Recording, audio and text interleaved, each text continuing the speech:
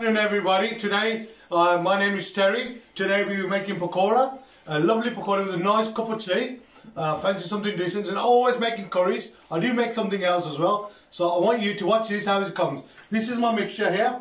It's uh, all, got cauliflower in here, aubergine in here, uh, spinach in here, potatoes, onions and you name it, coriander and the spices. You mix it up with the ground flour and look at this, beautiful.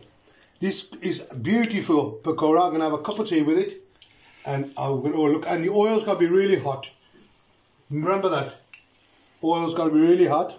It's a lovely pakora. Look at this. Look at that. Just look at that. Beautiful. So what I'll put in here: aubergine, onions, potatoes, uh, spinach as well, and I shall put some cauliflower in there and mix it up with a bit of spices with ground flour. Remember that ground flour, not plain.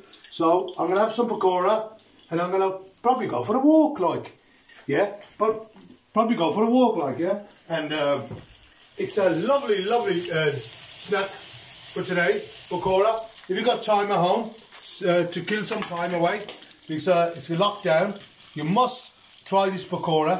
It's a lovely, different, something different to eat. It's beautiful. And uh, if you've got some time, so you've probably got onions at home, or would you know, any vegetable, chop it all up and make a lovely, lovely pakora like me. We've got some chutney with these.